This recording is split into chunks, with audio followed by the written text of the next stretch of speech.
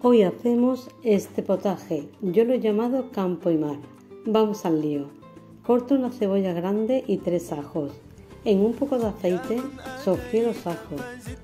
Al poco añade la cebolla y deja que se poche. Pon 4 cucharadas de tomate frito casero. Incorpora 250 gramos de calamares limpios y en trozos. Deja que cueza unos 8 minutos.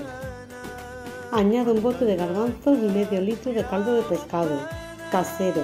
También lo puedes comprar, a gustos. Lleva ebullición y tenlo 10 minutos al fuego.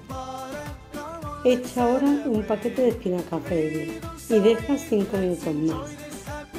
Mientras, sofrí una rebanada de pan, la mía es integral, tú puedes poner la que quieras.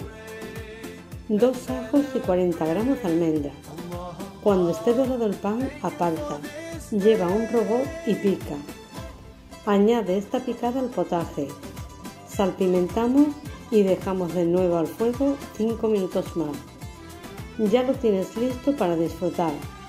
Cuéntame en comentarios qué te ha parecido esta receta. En mi casa no dejan ni las migas.